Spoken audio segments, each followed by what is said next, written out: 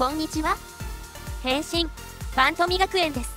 今回は、ファントミラージュ36話、ダークサライ闇の小学5年生についてレビューします。逆さ馬は、サライが人形だとバラしてしまいます。絶望したサライは、ダークサライに変身してしまいました。私、ダークサライ闇の小学5年生どうなっちゃうの早速見てみましょう。その前に、ファントミ動画をどんどん配信していくので、チャンネル登録よろしくね。ファントミちゃんたちは、アジトで秘密会議。なぜか、くまちぃが、ファンディの代わりに仕切っています。ズームキーで、サライをよく見てみると、なんと、ドールイケナイヤーたちと、いたずらの限りを尽くしています。梅ちゃんのシュークリームが大変なことに、そこで予告状が飛んできます。ファントミラージュ？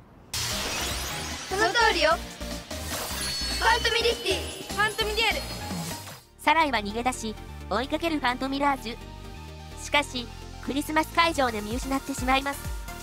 迫り来る逆逆警察。セイラは大スキーを使います。アベコメデカはご乱心。逆逆警察を撃退完了。ココミはサライをやっとの思いで見つけます。そして友達になろうと呼びかけます本当に？人形でも友達になってくれる？サラエちゃん。私たちはもう友達だよ。しかしそこでドールイケナイヤーたちが大暴れ。絆スタイルでドールイケナイヤーを。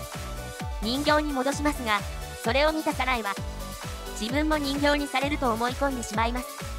するとサライの周りにいけないパワーが集まりサライをサンタスタイルのダークサライに変えてしまいます。どうなっちゃうの？さて、来週のファントミラージュは？クリスマスなくします。どうぞお楽しみに。いかがでしたか？この動画が良かったら、グッドボタンを押してね。次も見逃さないよう、チャンネル登録をしてね。それではまた次回、お会いしましょうね。